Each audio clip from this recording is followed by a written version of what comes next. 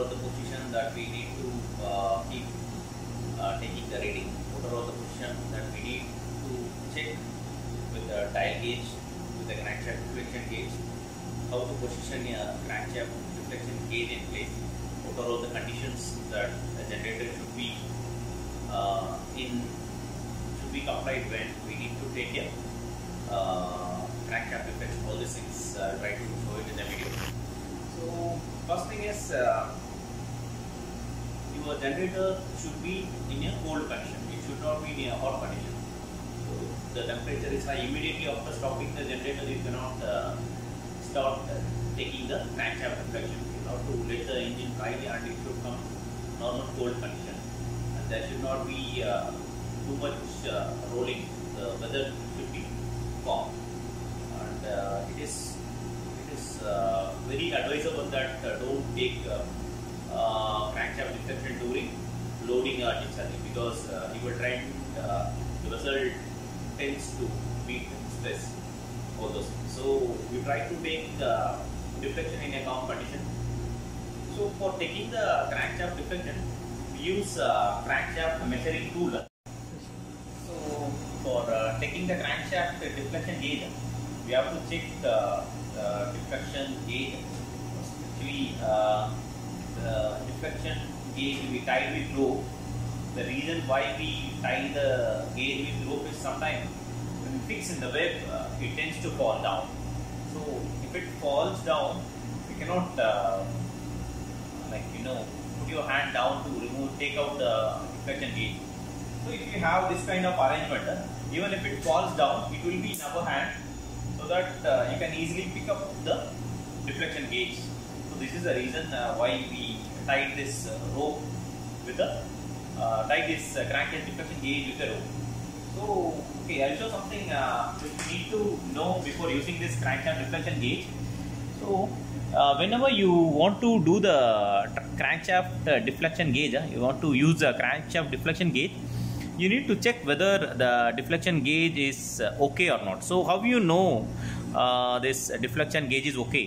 So you have to turn this. Uh, you can turn the dial, and you have to set to zero. So you can see here, you can turn, turn. You can turn like this. But I want to turn it to zero. So you can see here, it is now in zero. So how to check whether this dial gauge is okay or not? So what we need to do is, you just press the needle and leave it back. It have to come back to zero.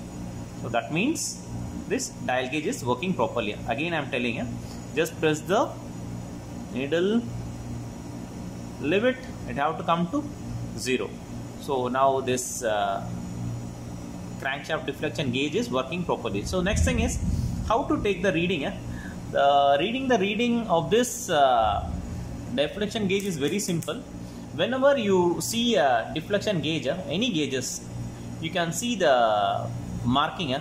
Here you can see there is 0.01. It indicates each and every point means it is 0.01 mm. So suppose uh, okay i will try to give you one reading so now you can see two reading uh, one is the top one is inside so top reading will be giving you in the range of 0.01 and once it completes one complete circle here it will come to 1 okay? So i will show you how. So you can see now uh, i press slowly. If it is like this the reading is 0.21 and here you can see uh, it is still in 0 so the reading is 0.21 mm only. Okay? So next I will go for a full rotation huh? One full rotation. 0 you can see here.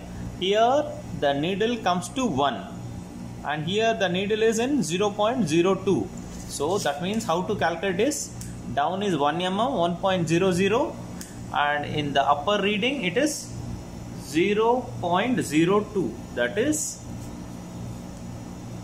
1.02 mm so this is how you have to uh, read the readings for deflection gauge. So and another thing is this is called uh, mirror for uh, seeing the gauge glass. I mean sorry seeing the reading eh? so suppose when the gauge glass say deflection gauge turns you can keep it like this you can keep it like this and you can see the value. You can see the value over here this glass this mirror can be extended and it can be turned at any angle. Can be slide here top bottom anything eh? so these two are the important thing that we need to take for uh, taking the crankshaft deflection for generators. So first thing is you have to check the dial gauge is working is or not. How to check? Press it have to come back to zero. Initially set to zero that is very important. Once set to zero then we check whether it is okay or not. Then it is okay we'll go down. So this is the report this is the report and you can see yeah the, here you can see 1 2 3 4 5 6 this indicates a 5 6 units and this is the position. X s t p y. So we'll go and take the reading yeah? okay so now uh, what is the procedure uh, to take the deflection gauge first we see what is what will be the position of uh, crank pin so that it will easy it will be very easy to understand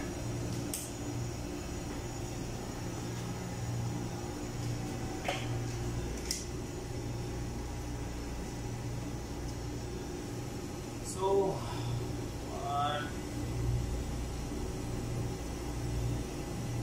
and I take the center line.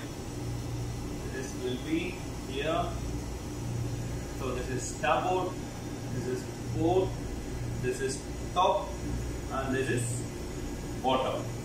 So what we need to do is this is the position of crank pin this is the position of crank pin. So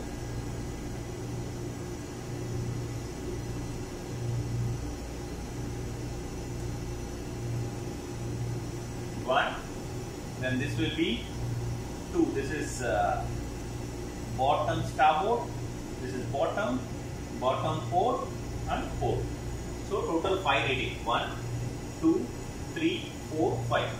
This is the position of crank pin so now i will show you what will be the position of your deflection gauge. So same thing. Center line top bottom.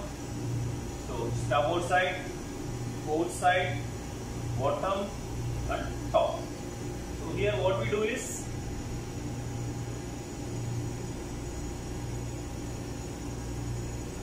this will be top starboard starboard bottom starboard port uh, sorry uh, port and this is top port. So one two three, four, five reading. So these are all the five reading that we need to take. This is gauge position, a gauge position. So this will be the crank pin position and this will be the gauge position. So now I will go to generator and I will show you how to take crankshaft deflection reading. So before that, uh, you can see here, uh, this is the crankshaft deflection report.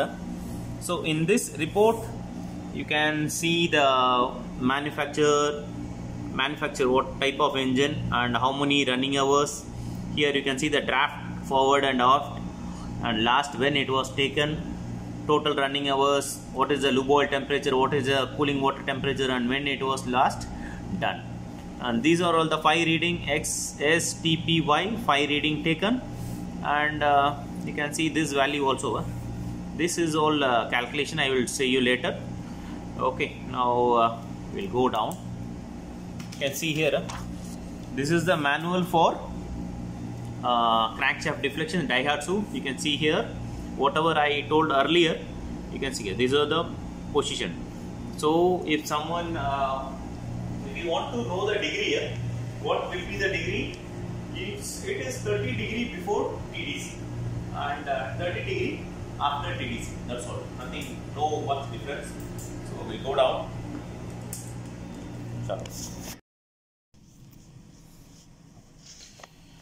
Okay so now I'll show you first how to fit the crankshaft deflection gauge. Uh, this video has been uh, already uploaded separately. So again uh, I, it, if I do this again it will be like a continuation. So it will be more easier also. So first fit the crankshaft deflection gauge. You have to specifically keep it properly. The base should properly sit on side of the counter weights. So some ships some engines there will be there will be a marking for fitting the um, crankshaft deflection gauge but in generator mostly you don't find. So now I fitted the deflection gauge. It should be exactly it should be exactly placed in the center. So now we are going to take the reading now. So this is again I will try to make a drawing and uh, let you know. So it's uh, these are the five reading that we are going to take that first reading is A that is uh, 30 degree after BDC so I will mark it as A B C D E. A is 30 degree after BDC and next will be starboard side reading. And next will be TDC that is uh, top dead center. And next will be port side. And next will be 30 degree before BDC that's all so these are all the reading that we are going to take now.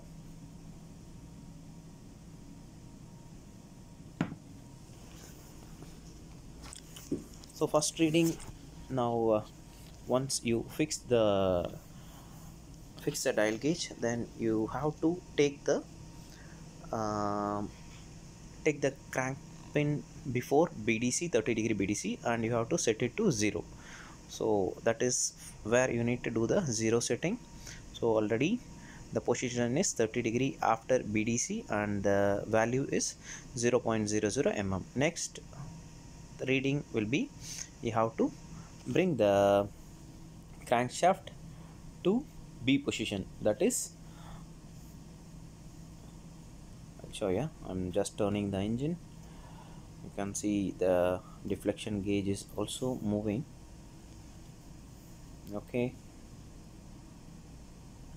so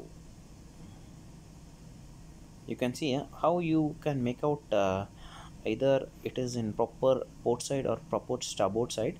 If you stand outside now you have to see both the web straight. So now we bring it to starboard side and the reading of uh, dial gauge is showing 0.01 mm. I marked it and once that is done I have to bring the crankshaft to TDC again TDC also you can easily make it out with the position of the piston. So this is where your mirror comes into picture because you cannot see the value reading of uh, dial gauge. So you can use the extension mirror to see the value of the deflection gauge now it is in now the piston unit is in TDC and you have to take the reading minute